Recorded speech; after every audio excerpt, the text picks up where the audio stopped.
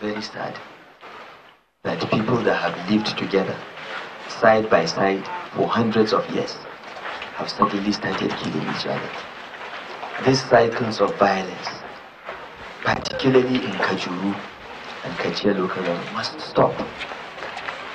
It is not in our culture, it is not in our religions. Our two holy books, the Bible and the Quran, do not allow any human being to kill another.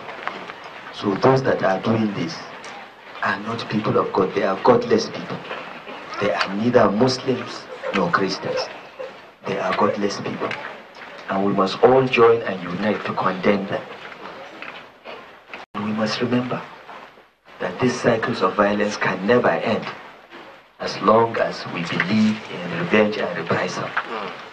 We have leaders, we have community leaders, we have law enforcement officers that you should report anyone that has done anything wrong to you. Do not take the law into your own hands. Because if you do, everyone else can take the law into his own hands and the cycle will never end.